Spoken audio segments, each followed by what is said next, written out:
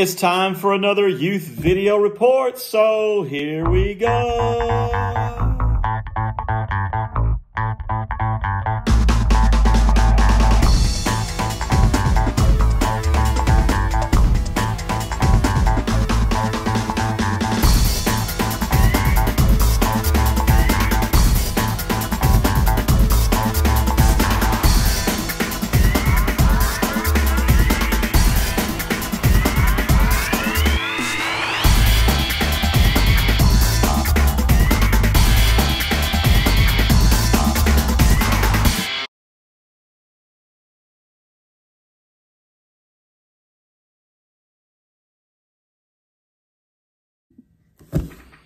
Hey guys, here we are again uh, for another youth video report.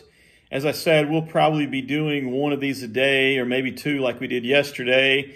And we'll throw some contests into there to see who actually is watching this thing. Uh, yesterday, as you know, Lily won the contest and so she gets free lunch today. And I'll be taking that over here in a little bit uh, for her. Um, but Today, I want to talk to you about a verse of scripture from the book of Proverbs. I said yesterday, you know, we'll probably do try to do one of the Proverbs every day.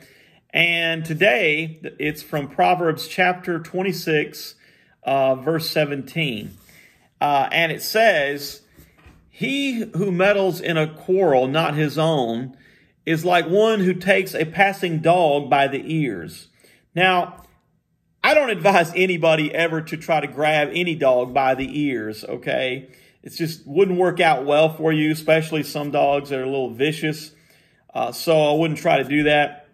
But what the passage is saying is sometimes we just need to mind our own business, right?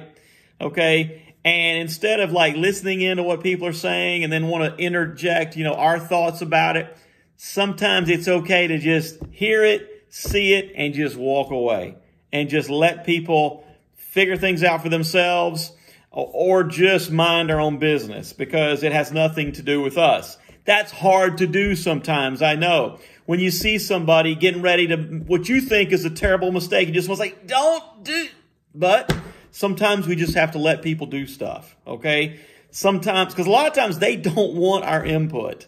In fact, they would prefer not to hear from us. And some of y'all are out there saying, yeah, Jimmy, sometimes I'd like to not get your input.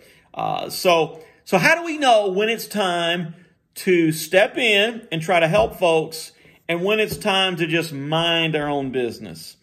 I would say more times than not, leave it alone.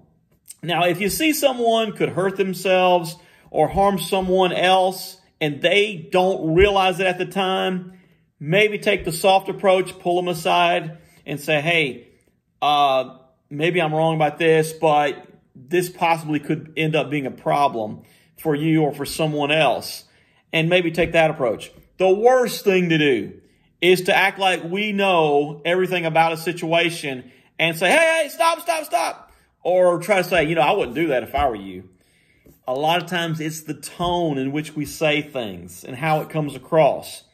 And if we sound like, hey, I'm trying to tell you that if you do this, you're bad, or you don't know what you're talking about, or don't know what you're doing, people just hear the tone and they don't really hear exactly what it is you're trying to protect them from or what you're trying to help them with, because it doesn't seem like help.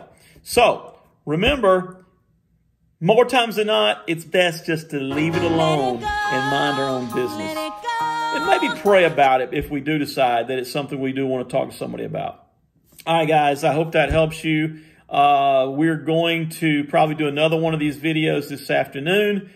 Uh, don't have a contest for today, but if you, nobody won the contest from yesterday, so if you can tell me how many times Lily is in our intro video, uh, the intro of our video, then you will win a prize. She gets lunch today. Could be something different uh, tomorrow.